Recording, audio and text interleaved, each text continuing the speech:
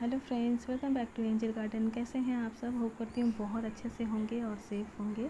आज मैं बात करने वाली हूँ नाग चंपा फ्लावर प्लांट के बारे में। तो पूरा वीडियो देखिएगा, अगर वीडियो पसंद आए तो लाइक, शेयर कीजिएगा। और मेरा सभी वीडियो देखने के लिए मेरे चैनल को सब्सक्राइब कर लीजिएगा।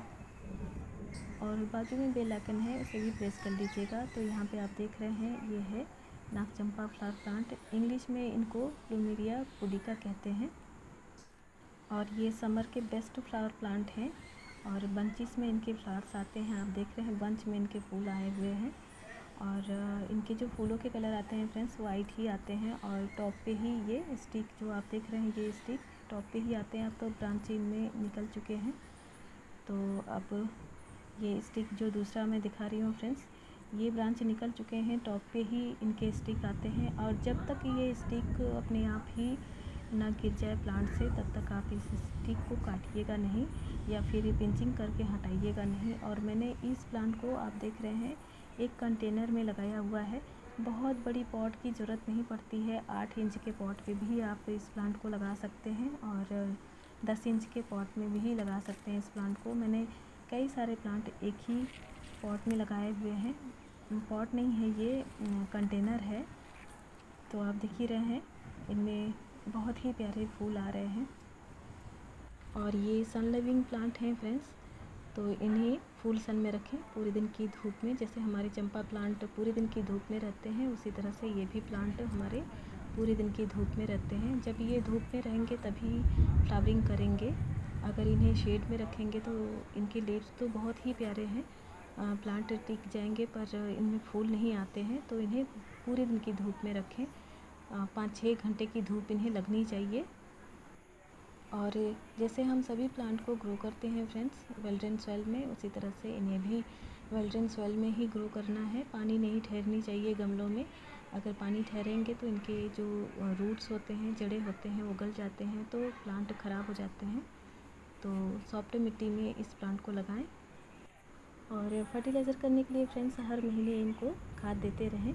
जब भी हमारे प्लांट में फ्लावरिंग होने लगती है तो इन्हें खाद की ज़रूरत पड़ती है तो हर महीने आप इनको खाद देते रहें। वर्मी कंपोस्ट या फिर गोबर की खाद आप इनको देते रहें हर महीने। और वाटरिंग करने के लिए फ्रेंड्स आप पहले देख लें, इनकी टॉप लेयर ड्राई हो गई है, तभी आप वाटरिंग करें। गमलों की जो ऊपर की लेयर मिट्टी होती है, हल्की से सूख गई हो, तभी आप इनको पानी दें। ओवर वाटरिंग करने से इनके जो रूट्स होते हैं वो गल जाते हैं। तो ओवर वाटरिंग ना करें। और ये जो प्लांट हैं फ्रेंड्स, विंटर में फ्लावरिंग नहीं करते हैं। सर्दियों में इनके फूल नहीं आते हैं तो उस टाइम आप इनकी कटिंग कर देंगे। तो समर आते आते आपके प्लांट बहुत ही बुशी हो जाएँगे, घने हो जाएँगे। और जब सभी ब्रांचेस में फूल आएँगे तो आपके गार्डन बहुत ही खूबसूरत लगेंगे। तो सर्दियों में इनकी कटिंग आप कर दें। तो गर्मी आते आते ये प्लांट आपके घने हो जाएँगे। और इंसेक्ट की बात करूँ तो फ्रेंड्स इनमें मिली बग्स भी लगते हैं और भी बहुत सारे कीड़े होते हैं जो पत्तियों को खाते हैं। तो कीड़ों के लिए आप नीम ऑयल का स्प्रे करते रहेंगे हर पंद्रह दिन पे। तो जितने भी कीड़े लगे रहते हैं वो सभी हट जाते हैं। तो मैं हर पंद्रह दिन पे नीम ऑयल का स्प्रे करती हूँ सभी प्लांट पे। तो आप भी करते रहें।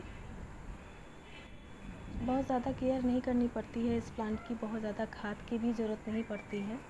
बस आप समर में इनको खाद दे सकते हैं, विंटर में बिल्कुल ही खाद इनको नहीं देंगे तो भी आपके प्लांट बहुत अच्छे से बने रहेंगे। और इनके जो फ्लावर्स होते हैं फ्रेंड्स, तीन चार दिनों तक प्लांट पे ही टिके रहते हैं। तो बहुत ही खूबसूरत ये फ्लावर प्लांट हैं। तो होप करती हूँ वीडियो पसंद आया हो। वीडियो पसंद आया हो तो लाइक शेयर कीजिएगा। और अगर मेरे चैनल को सब्सक्राइब नहीं किए हैं तो मेरे चैनल को सब्सक्राइब कर लीजिएगा। बाजू में बेल आइकन है उसे भी प्रेस कर लीजिएगा। फिर मिलती हूँ।